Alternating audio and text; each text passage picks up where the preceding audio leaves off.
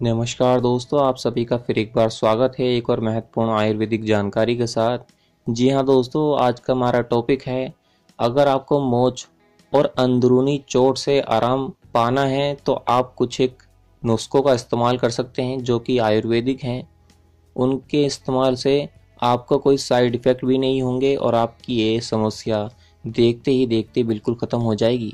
जी हाँ किसी दुर्घटना का शिकार होने पर या किसी धारधार हथियार से कट जाने पर जब त्वचा से खून आने लगता है तो उसे चोट कहा जाता है। वहीं किसी उबड़ खाबड़ जगह पर चलने या गड्ढे में अचानक से पैर आ जाने पर मोच या अंदरूनी चोट आ जाती है। मोच आने से उस अंग का सूजन आ जाती है और काफ़ी दर्द होने लगता है।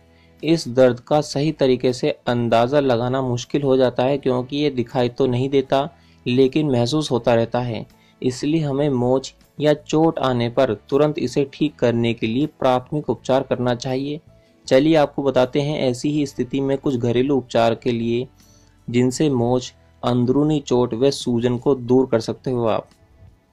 उनके लिए पहला उपाय है, अगर आपको लकड़ी, पत्थर लगने से सूजन आई हो तो इसके लिए आप हल्दी एवं खाने का चूना एक साथ पीसकर गर्म लेप लगाएँ अथवा इमली के पत्तों को उबालकर बांधें, इससे सूजन तुरंत उतर जाती है।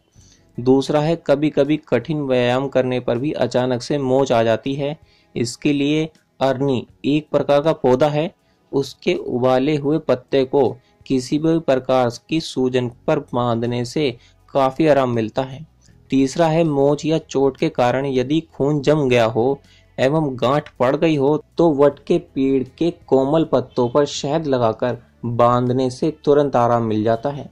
चौथा है बच्चों को खेलते समय मोच आ जाए तो मोच के स्थान पर चने बांधकर उन्हें पानी से भिगोते रहें। जैसे जैसे चने फूलेंगे, वैसे वैसे मोच दूर होती चली जाएगी। ये एक बेहतरीन इलाज माना जाता है। पांचवा है, मोच के कारण आई सूजन को दूर करने के लिए गुनगुने पानी में फिटकरी मिला दें। चोट वाले हिस्से पर इसकी सिकाई करें, इससे भी आपको बहुत लाभ मिलेगा। इसके लिए छठा है, सीढ़ियों से अचानक पैर फिसल जाने के कारण भी अक्सर लोगों को चोट या मोच आ जाती है। सरसों और हल्दी को गर्म करके उसे मोच वाले स्थान पर लगाएँ और उस पर अरड़ के पत्तों को रखकर पट्टी बाँध दें। इससे भी आपको तुरंत लाभ मिलेगा। सूजन में करेले का साग खाना बहुत लाभकारी होता है, इससे सूजन आपकी खत्म होती चली जाती है। जी हाँ दोस्तों, ये थी आज की जानकारी। आप आने वाली और भी महत्वपूर्ण जानकारियों से जुड़ने के लिए हमारे चैनल को सब्सक्राइब करें। तब तक के लिए धन्यवाद।